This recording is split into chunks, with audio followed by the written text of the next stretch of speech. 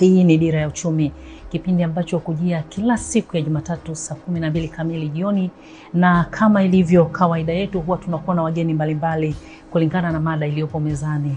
Uh, lakini pia katika kutazama hilo huwa tunazungumza masuala mbalimbali, hata yale ambayo tayari uh, yamekuwa ni kwa wakati huu yanazungumzwa kwa, kwa mara nyingi.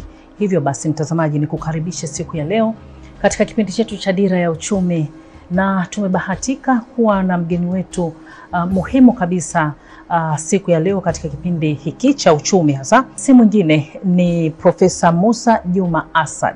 Huyu ni naibu makamu mkuu wa chuo utawala na fedha katika chuo cha Kiislamu cha Morogoro, yani MUM.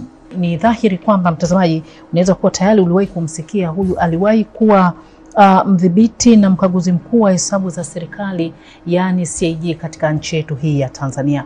Karibu sana Profesa. Nashukuru, asante. Karibu sana katika studio zetu za Channel 10. Nashukuru na Lakini kwamba nimefika hapa leo. Ndio, ndio.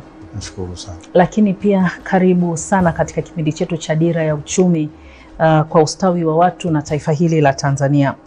Nikupe wasaa uweze kujitambulisha kwa Watanzania waweze kukufahamu wewe ni nani, maana walizoea kukufahamu kama wewe ni mdhibiti na mkaguzi mkuu wa hesabu za serikali yani CAG uh, katika miaka ya hivi karibuni. Kwa hiyo ninakupa wakati uweze kujitambulisha kwa sasa, wewe ni nani na unafanya nini hasa? Sawa, mimi nashukuru sana mtangazaji. uh, mtangazaji. Mimi naitwa Musa Juma Asad, ni profesa mshiriki wa uhasibu na kwa sasa hivi niko chuo cha Waislamu cha Morogoro Mm.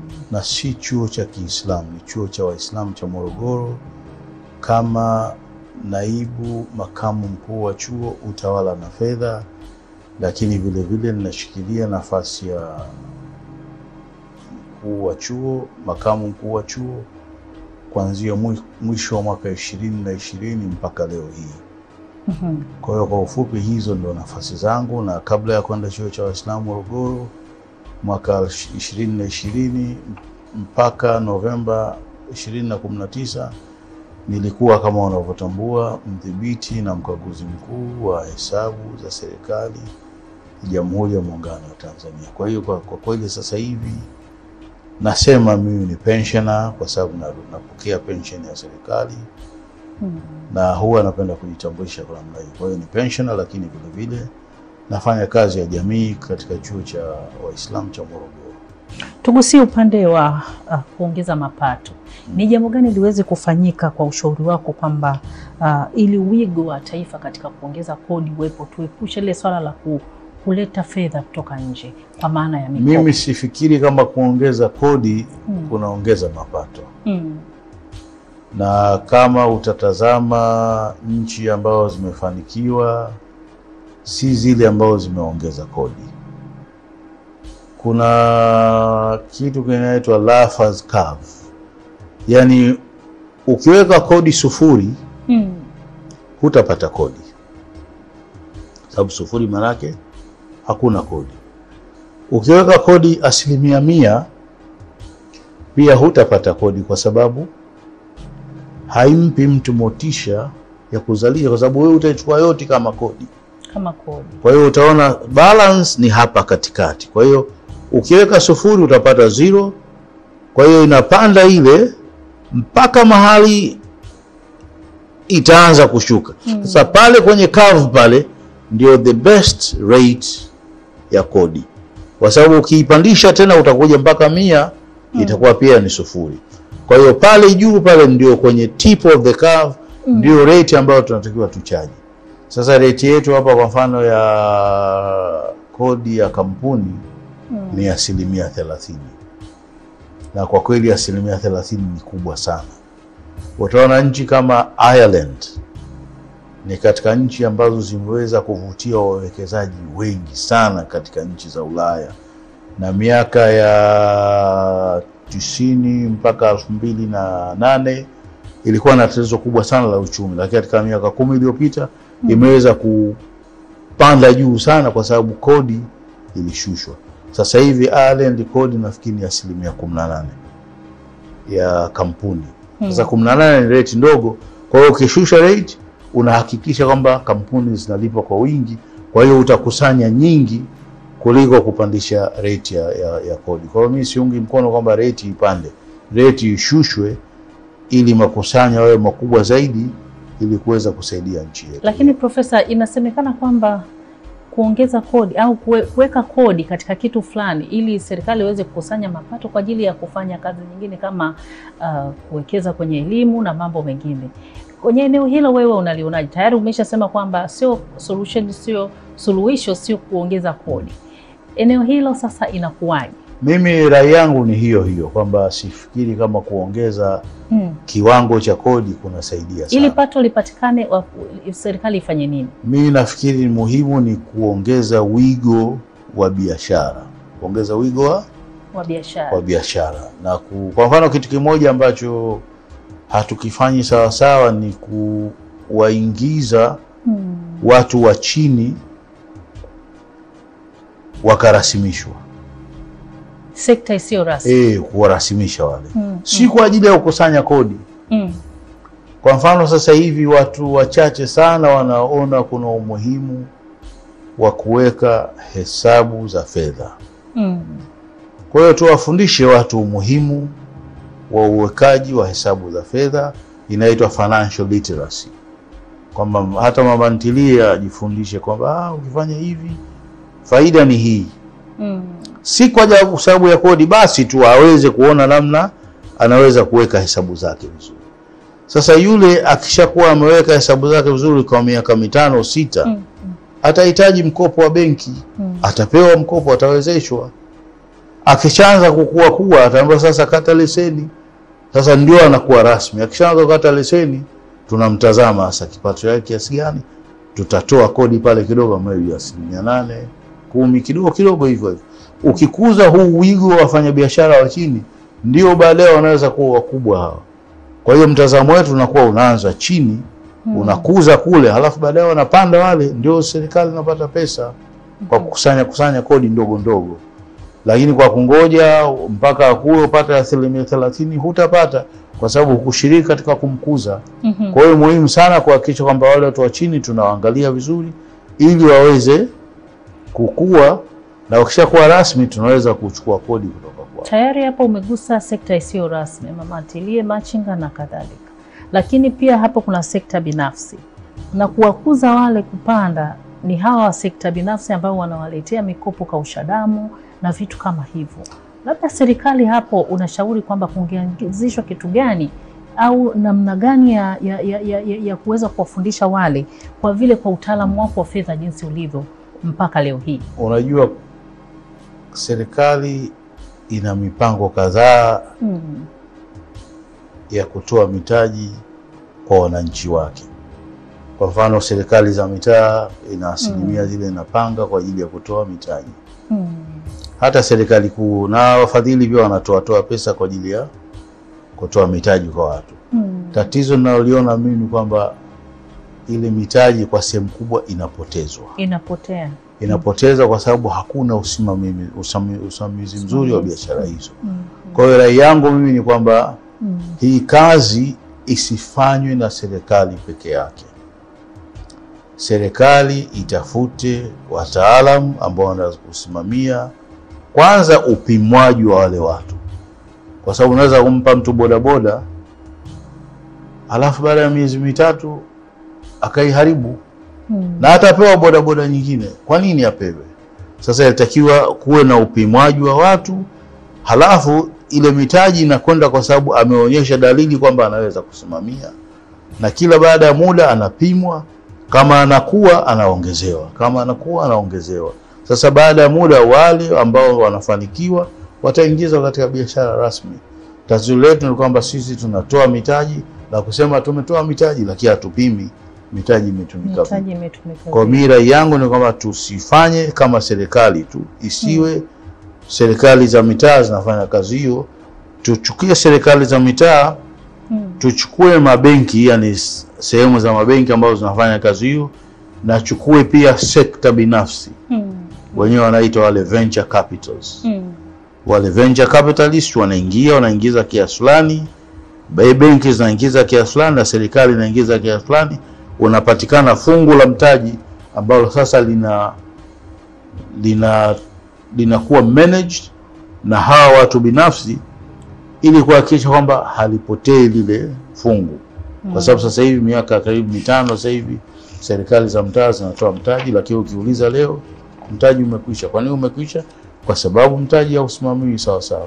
Sasa mm. hilo ni tatizo ambalo nafikiri serikali ikiweza kulisimamia litakuwa vizuri sana. Mhm. Mapendekezo yako ni yapi katika masuala mazima ya kuboresha ufanisi hasa kwa wale watumishi wa umma? Mimi nafikiri kama kuna tatizo katika utumishi wa umma Mm. ni wajua, watu wengi anatoka ofisini, anatoka nyumbani anakwenda ofisini, na kwa siku ile hajui kitu gani atafanya, Mhm. Na atakwenda namna hiyo mpaka mwisho wa mwezi, anachukua mshahara, anangoja mwezi ujao. Kwa hiyo kwa kweli utumishi wetu wa umma hauna vigezo. Yaani, unajua mimi kama mwajiri wa sekta binafsi, kila mtu wangu ana kazi yake. Mm. Kwa mfano, hii kipindi cha mvua tuliamua sisi pale chuo cha Morogoro kwamba tutapanda miti ya matunda. Kwa hiyo tumenunua miti ya kutosha na tuliomba watu wakachangia changia Mm. na tumeipanda, na kulikuwa na kijana mmoja ambaye namuonaona pale, nikamuuliza bwana, wewe kazi yako ni nini? Akashindwa kuniambia kazi yake ni nini. Kaambia bwana, wewe sasa kazi yako itakuwa katika miezi mitatu hii utasimamia miti yote elfu tatu hii, ihakikisha imepewa mbolea na inapata maji mara mbili kila wiki. Mm. Unahitaji nini? Mipira, mipira hii hapa. Mm. Mm. Kwa mimi na mimi na wenzangu tunapitapita kila wiki kuangalia amenyeshea amefanya kazi. Kwa hiyo kwenye sekta binafsi kuna ufuatiliaji huu, katika serikali kwa kweli ufuatiliaji ni mdogo sana. Kwa hiyo jambo la kwanza ambalo nafikiri ni muhimu Mm. ni kila mfanyakazi kuwa na malengo yake ya mwaka ambayo utayapunguza punguza mpaka yarudi katika malengo yake ya kila siku, kwamba leo nakwenda ofisini natakiwa kufanya moja, mbili, tatu, nne, tano, Mm. na yeye anajua na bosi wake anajua. Kwa hiyo ikifika jioni, bana, yale matano umefanya ngapi? Nifanya matatu, mawili nimeshindwa. Kwa nini umeshindwa mawili? Nimeshindwa kwa sababu ah, kulikuwa na mkutano na alikuja bosi fulani akanichukua hapo, kwa hiyo nimeshindwa kumaliza haya mawili. Haya mawili utaanza nayo kesho asubuhi, na kuna mengine ya kesho. Kwa hiyo kila siku utakuwa na malengo yako kila siku. Bila malengo, kwa kweli utumishi wa umma inakuwa ni jambo la mazungumzo tu. Watu wanakwenda ofisini, wanachukua mshahara mwisho wa mwezi, lakini kazi hazionekani. Nitakupa mfano mmoja mimi. Sasa hivi kila bosi ambaye anastahili gari anapewa gari na anapewa dereva na anapewa gari na anapewa dereva. Kwa hiyo kama sehemu kuna mabosi watano, kutokana na magari matano Mm. na madereva watano. Si lazima kwamba madereva wote kila siku watafanya kazi. Mm. Kwa hiyo ungeweza kuona, ingekuwa sekta binafsi, ungekuwa na magari matano Mm. madereva watatu tu. Dereva anatumika pale ambapo anahitajika. Mm. Kwa mimi nimewahi kwenda katika chuo ambacho dreva aliwahi kuja airport kunichukua saa kumi na moja alfajiri akanipeleka hoteli akarudi chuoni, na ni Kenya hiyo. Mm. Aliporudi chuoni saa mbili alikuja tena hoteli akanichukua hoteli akanirudisha chuoni. Halafu alinirudisha mimi chuoni, akachukua basi la chuo akenda mjini kukusanya wanafunzi akawaleta, alafu mchana akachukua pickup akafanya kazi nyingine. Hivyo hivyo jioni anarudisha wanafunzi, akishamaliza kurudisha wanafunzi anarudisha basi la chuo, anachukua gari ndogo anakuja ananirudisha mimi hotelini anakuja. Mm. Kwa hiyo dereva anafanya kazi zote za udereva bila kuwekewa gari yake moja. Hapa kwetu dereva na gari yake, kwa hiyo kama bosi atembei, gari inabaki pale, na huo si utumiaji mzuri wa rasilimali watu. Lazima twende na utumiaji. Lakini hilo tatizo naliona katika serikali tu, watu binafsi hakuna kana shida ya namna hiyo. Kwa hiyo mpaka tufikie huko kuona kwamba kila mtu apangiwe kazi yake na afuatiliwe kwa kazi yake, shida itakuwa kubwa sana kwa kweli. Nadhani watakuwa wamekusikia sasa. Uh, uh, Profesa, tuamie upande wa uwekezaji. Nadhani unaona namna uwekezaji umekuwa ukiwekewa uh, jicho kubwa pale Mm. hasa katika serikali hii. Kwa maoni yako wewe, unadhani kwamba ni namna gani serikali ifanye ili kwamba ule uwekezaji unaovutwa kutoka nje watu waamini kwamba unaweza ukaleta tija? Nafikiri umeona hata masakata mawili matatu ambayo yanamkiwa yakitokea ni kutokana na kwamba watu hawaamini kile ambacho kimeletwa kime, kime kwa gharama kubwa mm. kutoka nje kwamba kinaweza kikaaminika kwamba kikafanya masuala ya mapinduzi katika uchumi wetu wa taifa hili. mm. Eneo hilo unalizungumziaje? Mimi nafikiri tatizo letu kubwa hapo ni hilo ulosema, ni dhana Mm. dhana kwamba kwa jinsi mradi ulivyokuja, siutaji mradi wenyewe, lakini inaonekana kwamba huenda kuna watu ambao watapata faida binafsi hmm. na si serikali ambayo itapata faida. Sasa ukishakuwa unadhana namna hiyo, kila kitu utakuwa unakitilia wasiwasi hmm. na huenda ukawa unafikiri ah, hapa tutapigwa tu, lakini si kweli. hmm. Muhimu ni kuangalia kitu kwa vigezo vinavyoendana na kitu chenyewe, na tatizo letu kubwa ninaloliona mimi, wenyewe wanasema what it seems is not what it is, yani kile kinachoonekana hmm, huwa sicho chenyewe. Kwa hiyo angalia kile chenyewe ni kipi, halafu kipime. Sasa si tunaangalia kile ambacho kitatokea baada ya miaka na hizi kitatokea baada ya miaka miwili mitatu, hmm, tunafikiri sasa hivi tunaweza kufanyia utabibu. Haiwezekani. Utabibu utapatikana kipindi kile kitakapofika. Sasa tatizo letu ni hilo kwamba tunakuwa na dhana ambazo si nzuri, na tunafikiri watu watafanya vitu ambavyo havifai, na si dhana nzuri kwa kweli. Tuhisi kwamba watu wanakwenda vizuri na watafanya kile ambacho wanasema watafanya. Hilo ndio tatizo kubwa. Mm. Lakini tatizo jingine ambayo nimeliona mimi ni lile la watu kusemea vitu ambavyo si wataalamu navyo. Yaani, huwezi kumpata daktari wa meno akakwambia bwana, nataka kushughulika na tumbo lako. Haiwezekani bwana. We daktari wa meno una unaingiaje katika matumbo? Shida ni hiyo kwamba sasa wanatokea watu ambao si wataalamu wa maeneo hayo, lakini wanaweza kutoa rai na watu wakasikilizwa. Kweli hilo jambo pili linatupa shida, kwa sababu rai zinatoka nyingi kwa watu ambao hizi si wataalam, lakini wanasikilizwa. Kwa hiyo hiyo ni shida. Kwa hiyo kuna shida mbili, hilo la dhana ambalo ni negative, Mm. lakini vile vile watu ambao wanatoa rai ambao si wataalam wa mambo hayo. Kwa mfano uwekezaji, kuna watu ambao ni wataalam wa uwekezaji, hata wanasheria Mm. wanasheria wa uwekezaji wapo, si wengi Mm. lakini wapo, na hao ndio watu wa kuwasikiliza. Lakini sisi tunasikiza wanasheria wa sheria za familia, wanasheria wa kodi, wanasheria wa mambo ya makampuni. Hao si wanasheria wa uwekezaji tu, ndio wanasheria wa uwekezaji, hao ndio tuwasikize. Na ukiangalia kwa kweli utaona yale maoni ya wanasheria wa uwekezaji ni mazuri sana. Wale wanasheria ambao sio wawekezaji ndio wameingia katika maeneo ambayo hayana tija. Nafikiri kwa kweli hilo ndio tatizo letu, dhana Mhm. mbaya ndio tatizo kubwa kabisa. Mhm. Tu, tutizame upande huu wa uwekezaji, upande wa bandari. Mm. Inasemekana kwamba kwa maana ya kwamba uh, serikali inasema kwamba uh, kutoka uwekezaji wa trilioni saba ikija DP World itakwenda mpaka kufika trilioni ishirini na sita Mhm. baada ya uzalishaji. Maoni yako katika kukuza uchumi hasa upande wa, uh, wa bandari hasa ikija hii DP World, maoni yako ni yapi? Unajua, tatizo ni kwamba watu wengi wanafikiri kwamba bandari ni ushushaji wa shehena tu pale Mm. bandarini, na kwa kweli ukitazama operations za bandari ni pana sana. Mm. Operations za bandari zinaanza tangu meli zinapoingia katika mlango, Mm. wenyewe wanasema port navigation Mm. Yani kama vile unavyokuwa na rada ya ndege kunatakiwa kuwa na rada ya meli, kujua meli gani zipo katika Tanzania, zipi zinaingia. Kwa hiyo ile ni shughuli ya bandari vile navigation. Halafu kuna magati Mm, mm, pia ni shughuli ya bandari. mm.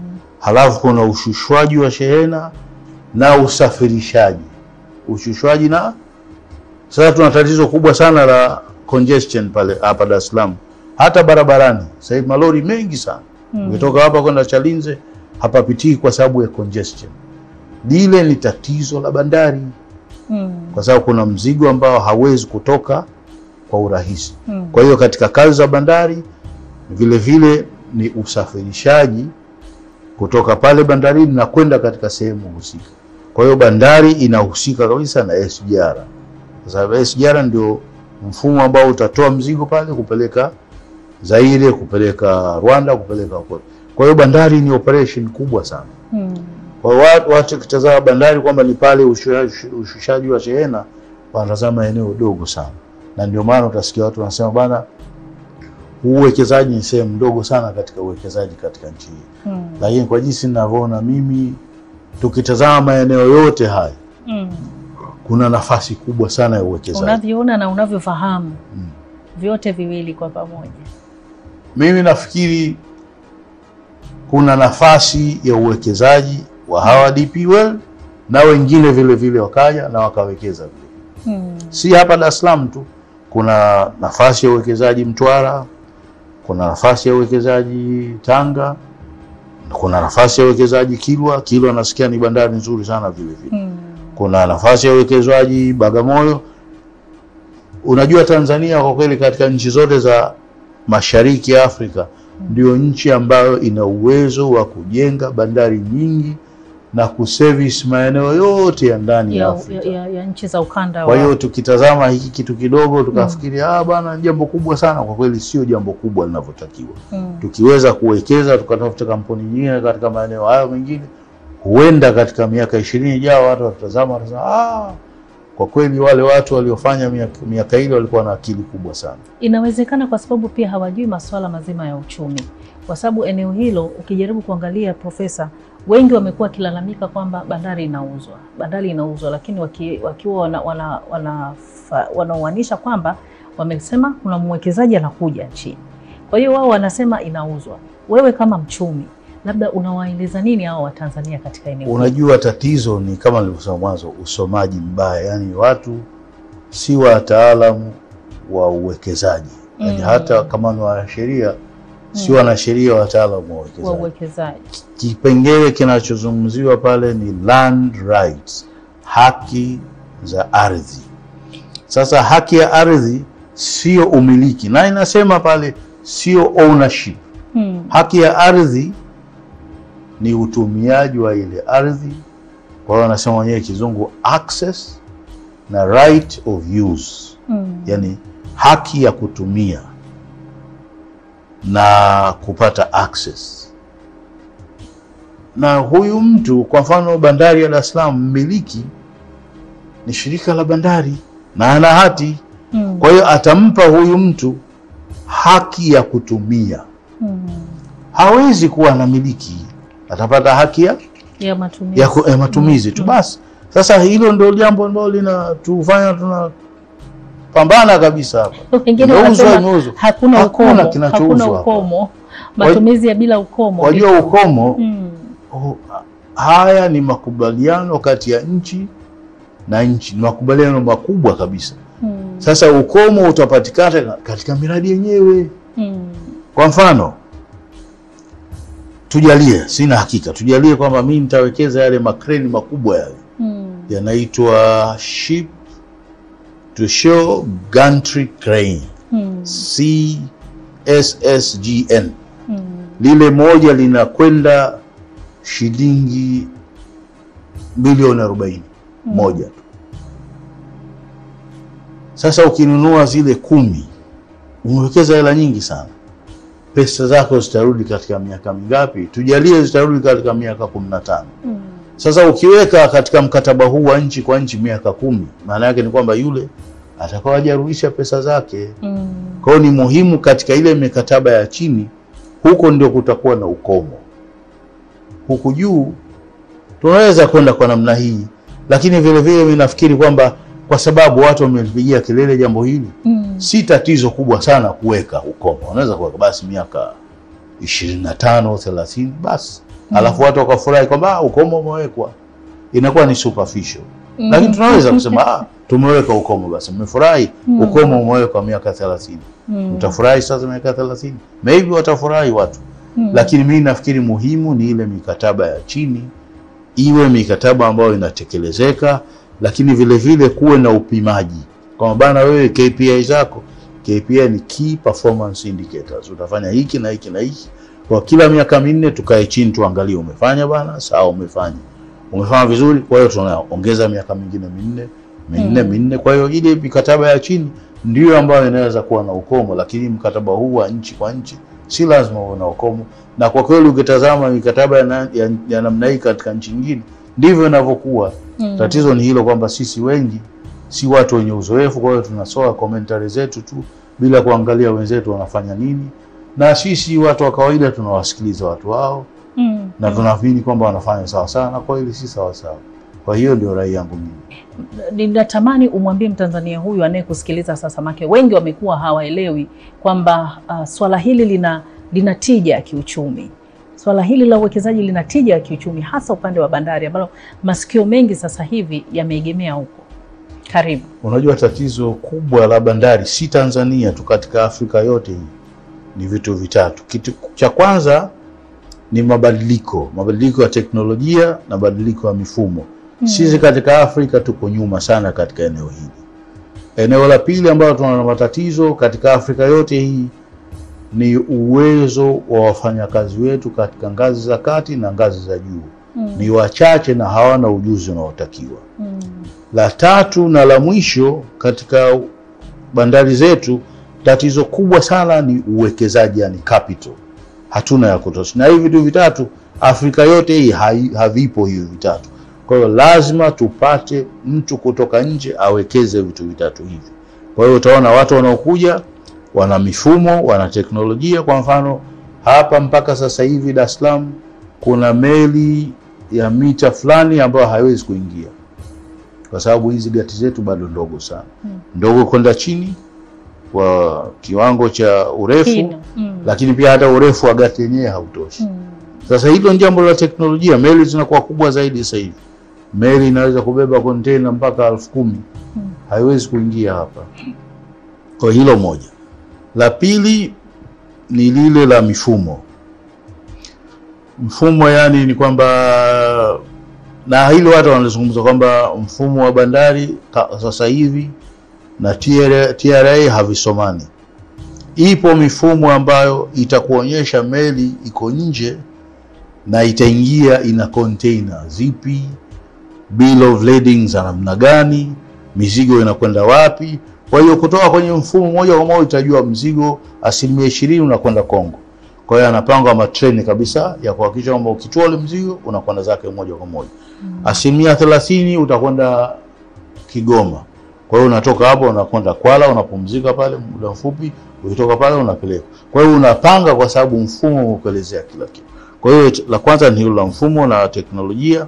La pili ni wafanyakazi. Kwa kweli sisi tuna watu wazuri sana katika level ya makuli, lakini middle level management hatuna. Ndio unaona watu wale wa TICS walipoanza tu, hata wasimamizi wa walinzi waliwaleta kutoka Ufilipino. Kwa nini? Kwa sababu hatuna wasimamizi wazuri hapa. Yaani unaweza kumweka mtu baada ya miezi miwili anakuwa mwizi. Kwa hiyo unasema afadhali mlete Mfilipino ambaye namjua, hajui lugha ya Tanzania na atakaa hapa na atafanya kazi vizuri. Kwa hiyo tuna matatizo makubwa sana katika usimamizi wa watu kwa levo za kati na levo za juu. Hata top management hatuna. Utaona mwenyewe hapo Habas, katika miaka kumi iliyopita tumebadilisha wale wakurugenzi wakurugenzi wakuu karibu mara tano sita. Ni kukosa uzalendo ama ni kitu gani? Sasa mimi Okay. sijui hilo ni jambo ambalo anayeteua anajua, lakini kwa nini umebadilisha watu sita Hmm. katika Habas? Ni kwa sababu uwezo mdogo. Mdogo. Kwa hiyo ni muhimu kujua hilo kwamba uwezo wetu wa kufanya kazi ni mdogo vile. Na tatu na mwisho uwekezaji kwa namna ya kuingiza mtaji ni shida. hmm. Utaona kwamba kulikuwa na mradi pale wa Dar es Salaam Maritime, Maritime Project Gateway Project ambayo ilichukua nafikiri dola kama mia nne na ishirini na moja laki nne na ishirini na moja elfu. Mm. Mradi huo umeingiza pale kama makreni mawili tu, na kreni zinazotakiwa pale huenda si chini ya kumi. Sasa unaona uwekezaji wa dola laki nne ishirini na moja elfu hmm, umefanya kitu kidogo sana hapa. Kwa hiyo uwekezaji unaotakiwa pale ni mkubwa sana, na sisi kama nchi hatuna uwezo wa kuingiza pesa za namna hiyo. Kwa hiyo muhimu ni kuhakikisha kwamba uwekezaji kutoka nje unakuja, lakini vile vile hatuwezi kuachia wakafanya kila kitu. Mm. Kwa nafikiri mfumo kama unavyoona ni kwamba yule akija anaweza akapewa asilimia fulani, tujalie asilimia sabini Mm. yeye kama investor ataanzisha kampuni na kampuni itaandikishwa hapa hapa Tanzania, sio kampuni ya Dubai. Itakuwa kampuni inayoandikishwa hapa hapa Tanzania, kampuni ya Kitanzania. Umiliki utakuwa kwa mfano asilimia sabini Dubai, Mm. hizi thelathini anaweza akapewa Habas Mm. Tanzania Ports Authority akamiliki thelathini, wale watu wa Dubai wakamiliki sabini, ikawa ni kama joint venture.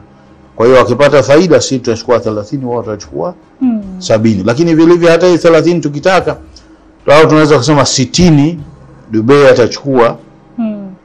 Habas watachukua thelathini hizi kumi Mm. zende soko la hisa kwa hiyo na sisi wengine tutaingia pale kununua share moja moja hmm. tutakuwa na Watanzania wenyewe wanamiliki kiasi cha uwekezaji katika bandari kwa hiyo hilo likifanyika nafikiri mambo yatakuwa vizuri zaidi lakini haya matatu muhimu sana kwa sababu hmm. haya matatu hatuna na hatuwezi kuyapata wenyewe, lazima tutafute wawekezaji kutoka nje, na hilo huwezi kulikwepa. Huwezi kulikwepa hapa Tanzania, Mm. haliwezi kulikwepa Kenya wala Jibuti. Nchi zote za Afrika zina matatizo hayo matatu, Mm. na hayo lazima upatikane uwekezaji kutoka nje.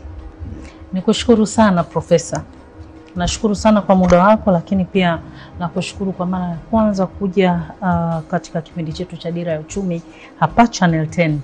Channel 10 kilicho bora kabisa mtazamaji, na sasa tumefika tamati ya kipindi chetu kwa siku ya leo. Tulibahatika kumpata Profesa Musa Juma Asad. Huyu aliwahi kuwa uh, mdhibiti na mkaguzi mkuu wa hesabu za serikali yaani CAG katika nchi yetu ya Tanzania katika miaka ya hivi karibuni, na sasa uh, Profesa Asad ni naibu makamu mkuu wa chuo uh, masuala ya utawala na fedha katika chuo cha Kiislamu cha Morogoro. Leo hii ametutembelea katika kipindi chetu cha Dira ya Uchumi na tumezungumza masuala kadha wa kadha. Uh, na mtazamaji, ikumbukwe kwamba katika masuala ambayo tumezungumza leo hasa ni yale ambayo yanahusu masuala ya bajeti ya mwaka wa fedha mwaka huu 2023 2024 lakini pia tumezungumzia masuala ya uwekezaji eh, na masuala mazima ya biashara katika uh, nchi yetu ya Tanzania. Uh, kwa niaba ya wote tuliokuandalia kipindi chetu kwa siku ya leo, mimi ni Margaret Itala. Kwa heri.